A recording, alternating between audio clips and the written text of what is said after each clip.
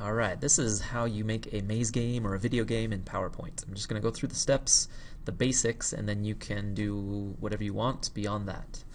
First thing that you need to do is open up PowerPoint. Once you have it open, it's uh, displaying the title slide, so go ahead and uh, select a title.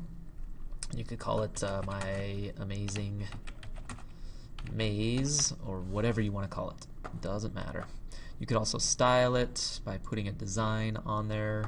I like just maybe a background color. So I'm going to put a solid background color. Whatever you choose to do, however you choose to make it. You can change the fonts and the colors and everything about it. Okay, next thing you need to do is insert a few different slides. So go back to the Home tab and the new slide button here. Click it three times because we're going to add three different slides. Um, now, for the third slide, uh, on the second slide, actually, we're going to have, this is where our maze is going to be. So I'm just going to delete these, the title and the text box. I want it blank just to get that stuff out of the way. On the third one, I want it to say you win. And on the fourth one, I want it to say you lose. Okay, now back to the first one. On the first slide, we are going to put a button. So to do that, we need to insert a shape, and I'm just going to get the round rectangle, rounded rectangle shape. This is in the Insert tab under Shapes. I'm going to click and drag and just make it a decent size. It's going to be down here in the bottom left because that's where my maze is going to start. Wherever you click on it, that's where your cursor starts on the next slide. So when you click on the shape and then just type start or whatever you want to type in there. You can make it the font bigger, you can change the font, change the color, whatever you want to do to that.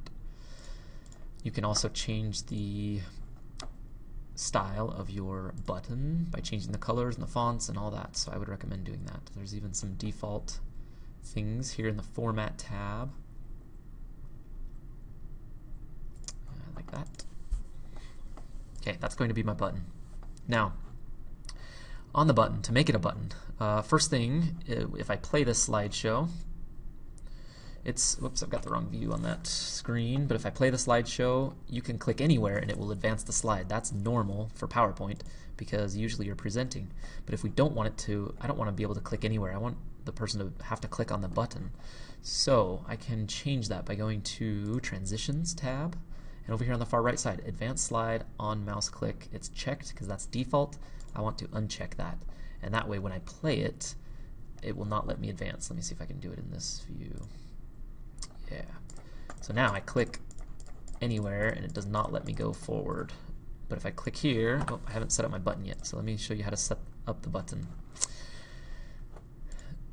And on each slide, I'm going to do that. So while I've got it on my mind, I'm just going to go to each slide and say I don't want it to advance on slide click.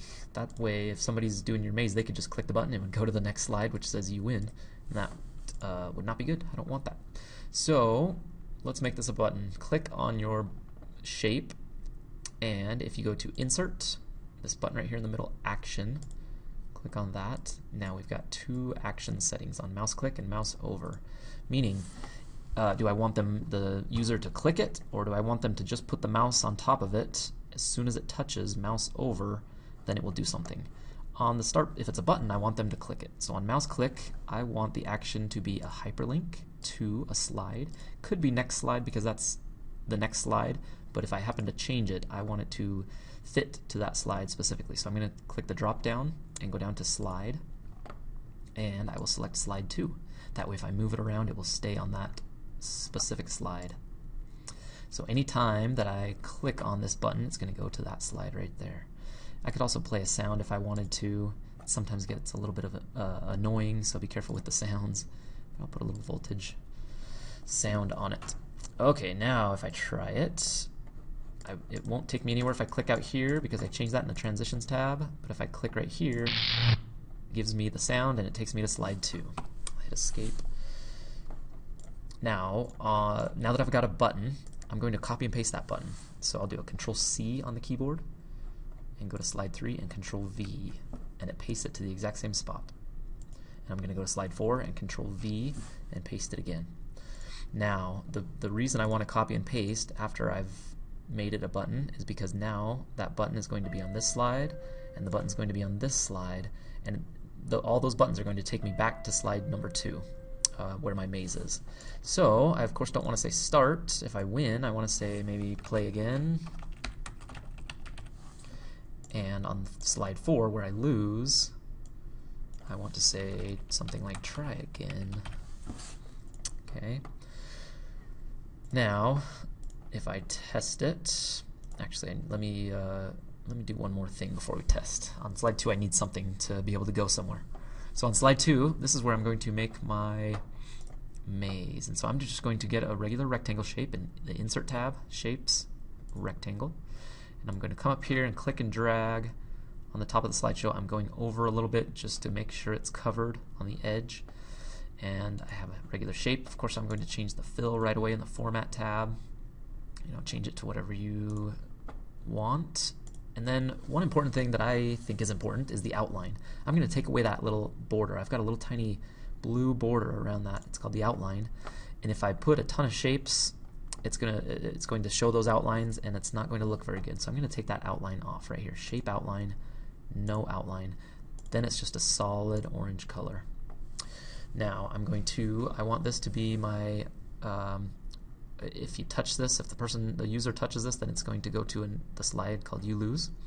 So I'm going to make it an action as well. Go to insert, action, and this time I want it to be on the mouse over. If I put the mouse click, no one's going to click on it because they don't want to lose. So on the mouse over, meaning as soon as the mouse touches it, it's going to then hyperlink to a certain slide. Slide, and I want it to go to slide 4 where it says you lose. And I could play a sound, I could do an explosion or just anything. Click OK. Now that should take me there, and then I should be able to get back with the buttons. So let's test it out. Okay, I can't click anywhere here, but I can click right here. Does my sound, and then if I touch that bar, it should take me to that last slide. It gives me the explosion, and it takes me to the slide. You lose, and then I can try again. This should take me back to slide two, and it does. Just do that all day long because it's fun, or annoying, annoying, whichever one. Okay, hit escape. Okay, so it's working. All my buttons are taking me where I want them to go. Now I'm going to work on my maze. So if I, what I can do now is copy and paste. Uh, I can copy and paste this uh, since I've put the action on it. If you have not put the action on it, do not copy and paste because you're going to have to put the action on every shape. So let me show you what I mean. If I copy this, Control C, and then Control V, I can click that and drag it down to the bottom and have that be my bottom border. And I could, now I don't have to copy it, I can just paste again, Control V, and I can rotate this by clicking that button right above the shape, rotate it 90 degrees, and pull it over here to the side. And I can now copy this one since it's turned, and Control C, Control V, and I'll put this one on the other side. Now I could clean that up if I wanted. I like to zoom in and out down here, so I can zoom out and see how big my shapes are, and I can pull those in and make them look nice. I won't take too much time doing that right now. Um, but now I've got all my borders on that slide. So I'm going to test it one more time real quick. So now I can't get out. Anywhere I go, it's going to to the you lose slide. And that's because I copied and pasted after I put the action on. If you put the action on, if you make a shape and then copy and paste it all over, then you have to go in individually and put the action that hyperlinks it to slide 4 on every one of them. So make sure you do the action before you copy and paste. I'm going to copy this one and paste it again, and I'm just going to make a real simple maze. Control V to paste, and I'll just show you a couple things about what you can do on the maze. And like I said, you can clean that up if you want to zoom in or out to clean that up. Okay, um, actually I'm going to uh, stop it here and give you another video and so the next video that's uh, you can click on will show you how to make uh, put a few obstacles in there and make them move.